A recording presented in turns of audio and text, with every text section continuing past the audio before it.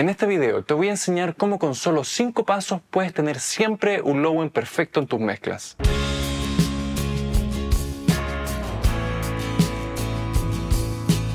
Y partamos definiendo qué es el low end. Para mí, son las frecuencias que están por debajo de los 200 Hz aproximadamente. Y me gusta dividirlas en dos. Bajos de los 200 a los 80 Hz aproximadamente y subbajo de los 80 Hz hacia abajo. Y si tus parlantes no reproducen por debajo de los 100 Hz o tu pieza no está acondicionada acústicamente, esto se hace un poco difícil. Yo para solucionar en parte este problema hago dos cosas. Uno, uso audífonos cuando estoy trabajando en estas frecuencias. Y dos, corto todas las frecuencias por encima de los 200 Hz aproximadamente para poder concentrarme bien en el low end y así tomar decisiones más certeras. Te muestro cómo lo hago voy a poner un ecualizador al final de nuestra cadena en el mix bus y voy a ir cortando los agudos hasta llegar aproximadamente a los 200 Hz.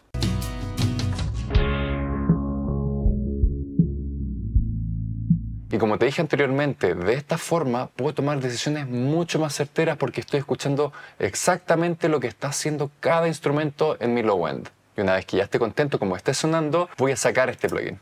Bueno, y lo que acostumbro ver al partir una mezcla es primero ver los niveles de cada instrumento y después trabajar los paneos para después empezar a trabajar en mi mix bus. Y es aquí donde yo empiezo a darle forma al low end que va a tener mi canción. Y por eso yo parto poniendo en mi mix bus un ecualizador y esta vez yo voy a usar un Pultec para que todo suene un poco más cálido. Y lo que me gusta hacer es subir la ganancia de forma exagerada para poder escuchar bien lo que estoy haciendo y luego seleccionar la frecuencia que vamos a usar. Siempre comparo y elijo la frecuencia que me hace sentir mejor.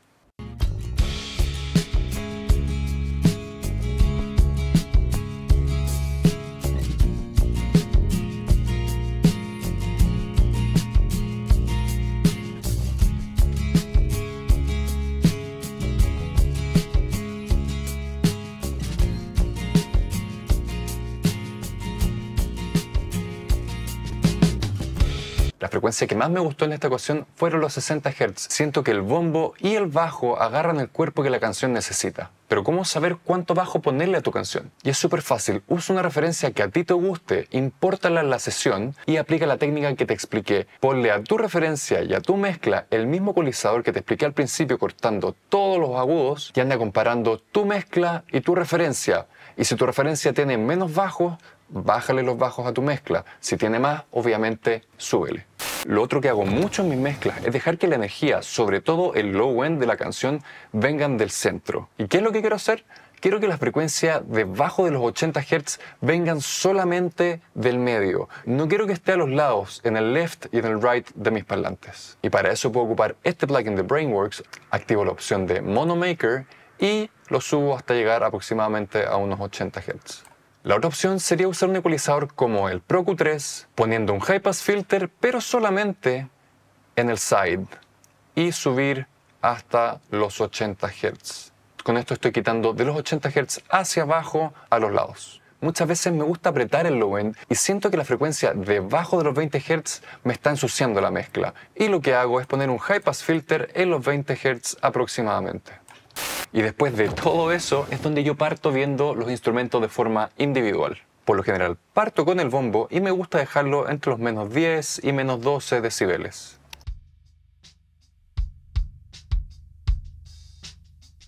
Después, una vez más, pongo el ecualizador en el mix bus, cortando todo de los 200 Hz hacia arriba aproximadamente, y voy subiendo el bajo a poco hasta tener la cantidad que a mí me guste, o si no, algo muy similar a una referencia que pueda usar.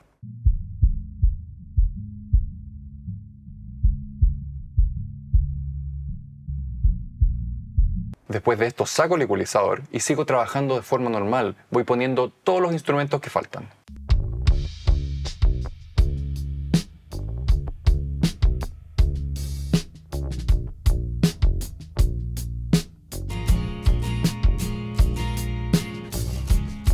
Ahora escucho y analizo bien el bombo y el bajo y veo qué características tienen. Para que el bombo y el bajo no choquen, voy a intentar que el cuerpo del bombo venga de una de las dos mitades del low end, puede ser de los subbajos, y la otra mitad quiero que lo ocupe el cuerpo del bajo.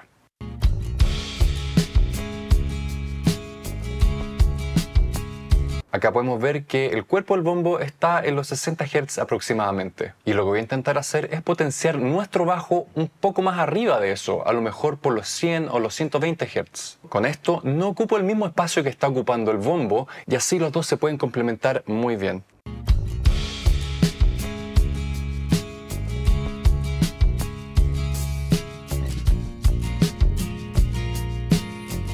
Incluso hay veces que le podría sacar al bajo un poco de 60 Hz para darle más espacio al bombo, pero en este caso no es necesario. Pero hay veces que la ecualización no es suficiente o no es la mejor solución. Para esos casos me gusta usar un sidechain del bombo con el bajo. ¿Y qué es esto? Esto significa que cada vez que pegue el bombo, el bajo se va a comprimir y va a bajar su volumen para darle paso y darle espacio a nuestro bombo. Para eso podemos ocupar este plugin, el Kickstart 2 de Nick Romero, o cualquier compresor. Y lo que vamos a hacer es mandar nuestro bombo por un bus hacia la entrada de nuestro plugin que está en el bajo. E insisto, esto lo que va a hacer es que cada vez que pegue el bombo, el bajo se va a atenuar un poco. Y escuchemos lo que está haciendo.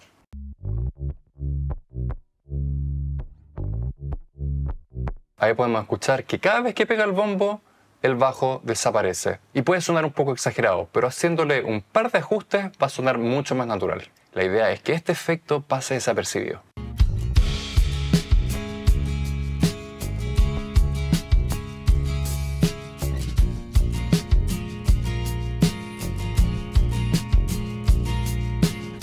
Ahí me parece mucho mejor.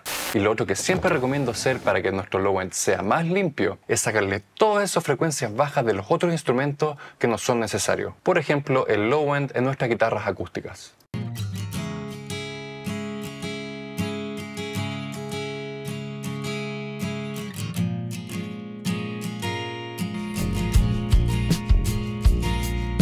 Y como siempre, si quieres seguir aprendiendo de mezclas y otras cosas parecidas, te recomiendo ver estos dos videos.